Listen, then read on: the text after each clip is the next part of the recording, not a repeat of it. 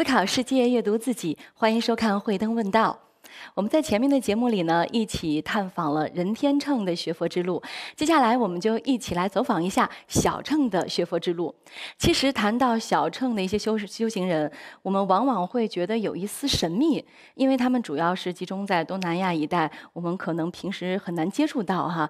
所以呢，不知道在座的嘉宾对于小乘佛教以及小乘佛教的修行人有什么样的印象，以及有什么样的问题？现在呢，就可以向堪布来提问。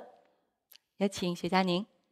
堪布您好，嗯，你好。嗯，我去过东南亚，那儿确实有很多小乘的修行人，他们看上去比较注意平时举手投足间的威仪。那我也去过很多佛教圣地，也常常进藏。嗯，相对而言，大乘佛教的修行人，尤其是藏传佛教的修行人，给我的感觉更松弛自在。请问堪布，为什么会有这样的区别？呃，南传佛教的 修行人在戒律，呃，还有这个很多行为方面呢，就是做的比藏传佛教啊，还有其他佛教要严格一些。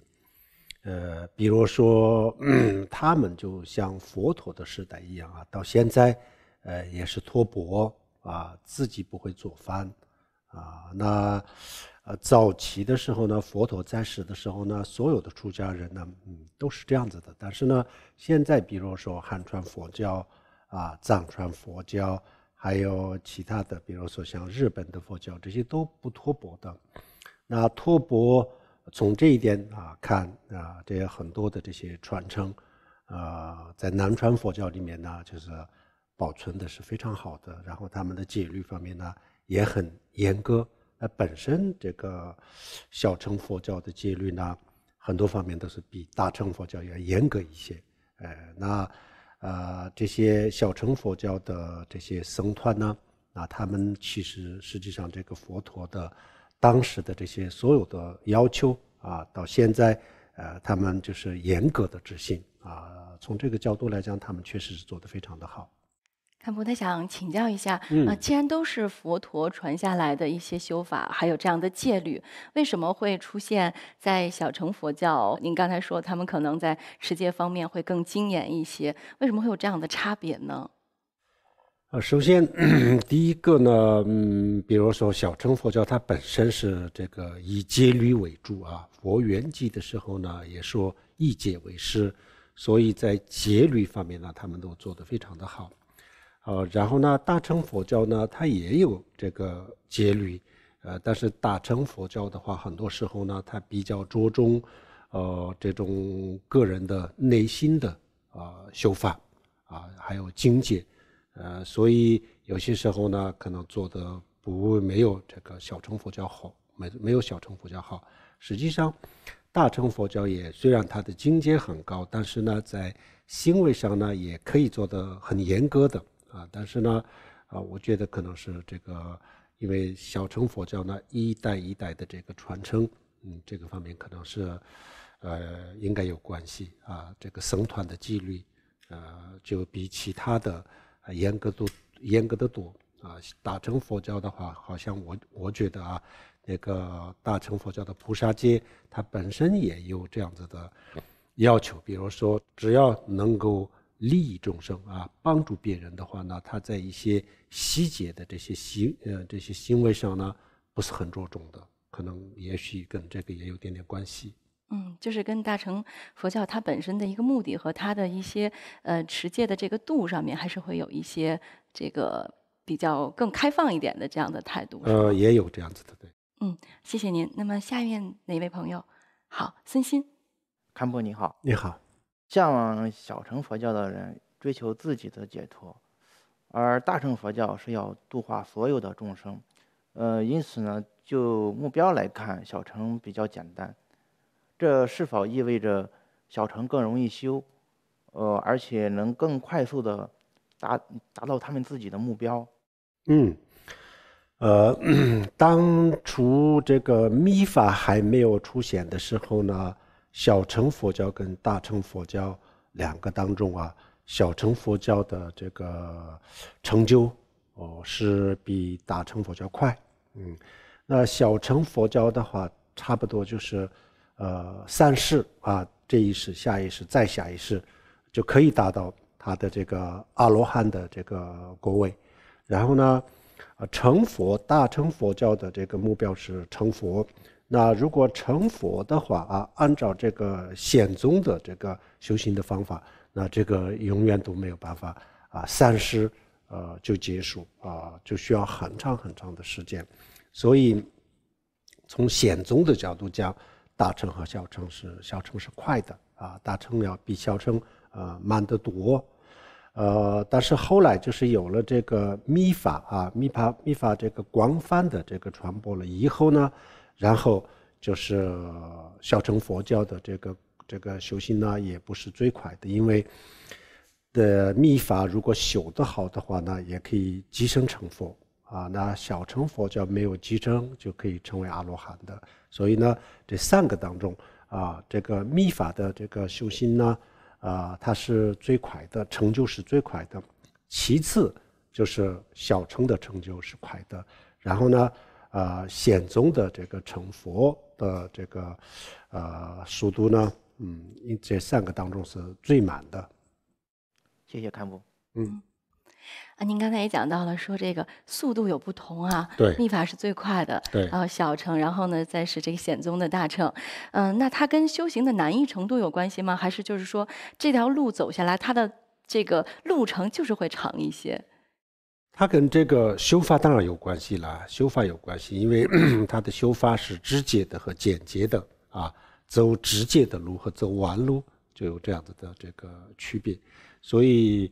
比如说像密法的话，它有很多很多的方法，让我们直接啊这个证悟自己的心的本心啊。然后呢，啊小乘佛教的话，它没有那么快的这个方法啊，但是呢，它需要证悟的，就是整个这个空心的啊一小部分啊，所以其他的部分它是不需要管的，所以也比较快啊，在它这个为了。啊，达到这个阿罗汉的啊这个国位啊，然后呢，他努力的话，那也是很快的。啊，大乘佛教的显宗啊，那么他证悟的空心啊的这个范围啊很广，然后呢，他需要做的事情呢也是非常非常的多。然后他的方法呢，虽然有很多很多非常多的这个方法，但是呢。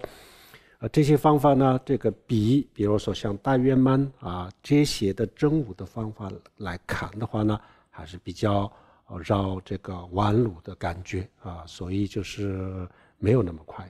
嗯，理解了。好，那我们还有其他的朋友想要提问吗？飞叶。呃，康布您好。嗯，你好。呃，我有一位朋友，他是修小乘佛教的，据他跟我讲，他们。上座部佛教学习的是佛陀当年亲口传授的佛经，是最原汁原味的佛法。那这样是不是意味着大乘佛教并不是正宗的佛教呢？小乘佛教它有这样子的说法，他们一直都这么认为。呃，当时一千多年前，呃，呃，也是有这样子的说法。所以呢，比如说像这个，呃，《入菩萨行论》。当中呢，啊，也就呃提过这个问题，然后呢，《大乘经庄严论》啊，这是弥勒菩萨的一部经，那这个当中呢，有一篇是专门讲这个的，当时印度也也有这样子的这个争论啊，后来呢，到现在，呃，这些小乘佛教的这些啊啊僧人呢，还有就是小乘佛教的学者呀，啊，这些他们呢就是这么认为，一直都这么认为。然后就是西方的有一些部分的这个学者，他们也认为当初的这个佛教是啊小乘佛教，好像没有其他的佛教。大乘佛教呢，后来就是龙树菩萨啊，他们啊就创立的一个新的一个啊这样子的学派，一直都有这样子说法。但是从大乘佛教的角度讲啊，不认可的啊，大乘佛教呢认为。小乘佛教跟大乘佛教一样啊，都是佛陀亲口讲的，呃，只不过当时佛圆寂的这个第二年的时候呢，啊，就是把所有的这个佛陀讲的这些话啊，都是形成了这个文字，那么这个时候呢，有一部分是这个小乘佛教的这个啊阿罗汉啊，他们这个呃做的。那么这一块呢，大部分都是佛讲的这些小乘部小乘佛教的这个部分啊。那么这个传到这个呃呃传到现在啊，那么就叫做这个小乘佛教了，南传佛教。呃，然后呢，另外一个呢是大乘的这些菩萨们啊，他们把佛讲的最后就是记录下来了，就形成了文字。那么这个呢，就是我们今天的大藏经里面的这个大乘佛教的这一块儿啊，这一块儿。所以他们认为这两个是不矛盾的，是两个不同的人啊，把这个佛陀的佛陀讲的这些就是真理啊，最后就是形成了这个文字。啊，只不过小乘佛教的这些，呃，这个当时的这些阿罗汉呢，啊，他们认为佛给他们啊讲的这些法以外，就是其他地方是没有传过啊，只有这些，呃，所以佛教就是这些，呃，他们一直这么认为，他们也会这样讲，啊，但是呢，其实是佛陀在当时的时候，也就很多不同的场合啊，给不同的人。讲了不同的法啊，但是这些呢，小乘佛教的这些当时的这些阿罗汉呐，啊，还有当时的还有很多其他的这些小乘佛教的僧人是不知道的，所以呢，他们认为就佛教就这些了，其除了这些以外就没有其他的，啊，这种说法一直都流传到现在。啊，这样子。那么后来，呃，像这个呃弥勒菩萨呀，还有就是很多印度的这些。啊，这些大师们，那么他们也就澄清了这个事情，这个不是这样子。当时佛是根据人的根基啊讲法的。那么小乘佛教的这个场合呢，佛是讲小乘佛教；大乘佛教的这个场合，也就是对大乘佛教的根基讲这个大乘佛教的法啊。其实当时就是讲了的啊，当时就讲了，但是小乘佛教他们不知道，所以。佛教的这个历史呢，就是呃小乘佛教它有它的一个说法，然后呢大乘佛教呢啊他们有他们的这个观点啊，就是就说法和观点有一点点不一样。谢谢堪布。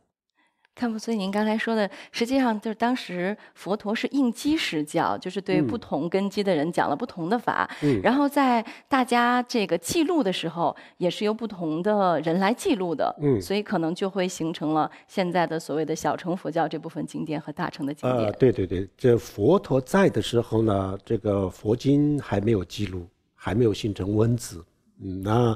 那个时候的很多的阿罗汉，他们呢，就像我们今天的录音机一模一样，他就是一个字都不会忘记的。因为阿罗汉很多都是他成就了以后就有这种不亡的这种功能啊，所以呢，他佛陀的一字一句全部都记得清清楚楚。后来呢，啊，他们把它这记录下来以后，就形成了小乘佛教了。然后还有一个呢，比如说。佛同样在一个一个地方、一个场合，有大乘的根基、小乘的根基，各种各样的人在一起的时候呢，然后佛就将同样一句话，然后小乘佛教的根基，他有他的理解啊；大乘佛教的根基呢，他们有他们的理解，然后他们有不同的理解，根据不同的理解，有有就根据自己的这个理解，然后最后记录下来了以后呢，然后。啊，大乘佛教他们的理，根据他们的理解所记录的这些呢，就形就变成了大乘佛经。然后呢，小乘佛教的，根据他们的这个理解啊，记录的这些佛经呢，啊，就叫做小乘佛教。就可以这样子理解：一个是本身就是不同场合讲的啊，跟不同的人、不同的场合啊、不同的地点、不同的时间讲的。呃，然后呢，另外一个呢。是同一个时间啊，同一个场合给大家讲，然后呢，有不同的人有不同的理解。这个是，呃，佛经里面讲，这是佛的语言的一个特点啊。我们一般的人的这个语言呢，不会有这样子的啊。他说什么就是什么。那佛的一个语言的一个特别不可思议的一个功德呢，同样在一个场合讲。啊，就有很多不同的人有不同的这个理解的方法。这个在佛经里面，当时呢有一个有一个公案，比如说有一次在一个医疗室里面呢有一个病人在治病啊，那么一个是呃医生，然后呢另外一个是病人，还有一个就是呃就像护工啊，就是帮助这个病人的。那佛就就就讲了四一个一个一个机子啊，就就是一句话啊，但是呢他们三个人就病人他有他的理解啊，然后呢医生呢有医生的理解。啊，然后就是这个护工，他有他的理解，那三个人都有不同的理解，啊，这个是佛陀的预言的这个呃一个不可思议的一个功能，嗯，所以，但这些都是小乘佛教里面呢没有这种说法啊，所以呢，啊，他们就认为只有是这些是佛经啊，其他都就不算是佛经。然后另外一个呢，像西方的一些部分的学者呢，他也他们就是看到的这个佛经呢。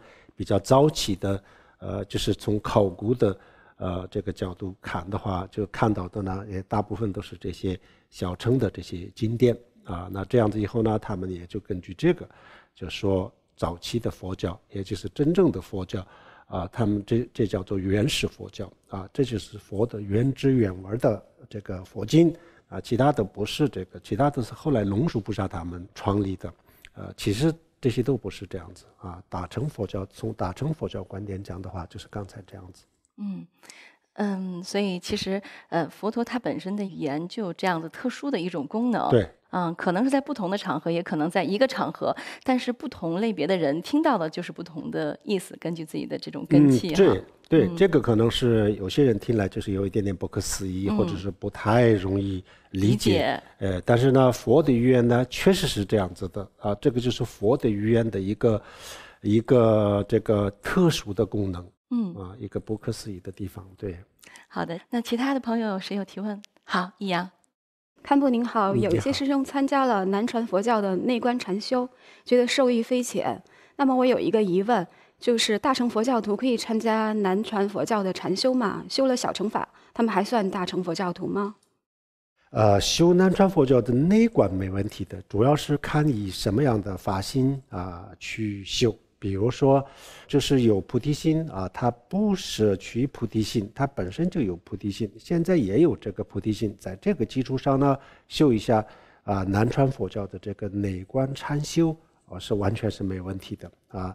比如说他在菩提心的基础上去修这个南传的这个内观禅修的话，看起来这个就是呃小乘佛教的，但是呢，因为他有菩提心。呃，在菩提心的基础上修这个法，对他来讲，这个就是大乘佛教了，呃，所以呃，这个是不矛盾的啊。那当然，比如说他之前是发了菩提心啊，学了大乘佛教，然后后来呢，他就学这个南传的这个内观的时候呢，他放弃了这个菩提心啊，这样去修的话，那就是从此以后呢。啊，就不叫这个大乘佛教的佛教徒了啊！如果没有放弃的话，那是还还不会有影响的，他他仍然是大乘佛教徒。嗯，好的，谢谢看波。所以主要还是看发心。是，最后就是要看发心。对，嗯呃，也有个问题想请教您啊，就是因为您前面也有讲过，说其实这三种学佛道路有不同的修法，那他们有没有共同的一些修法呢？呃，共同修法很多的，小乘佛教里面的这些修法，基本上大乘佛教里面都有的啊。比如说，这个小乘佛教的四禅八定啊，小乘佛教也修，大乘佛教也修。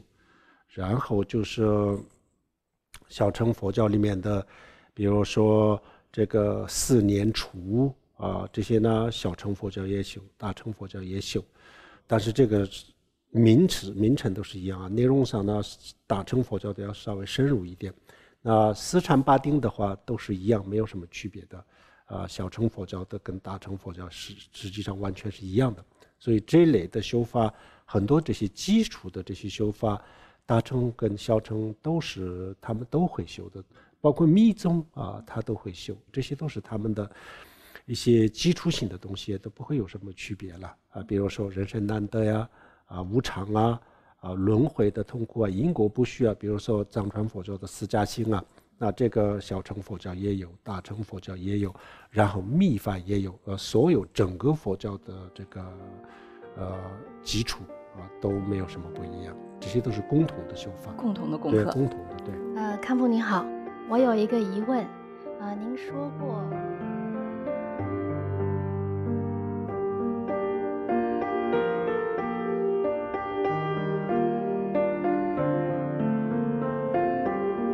上座部佛教学习的是佛陀当年亲口传授的佛经。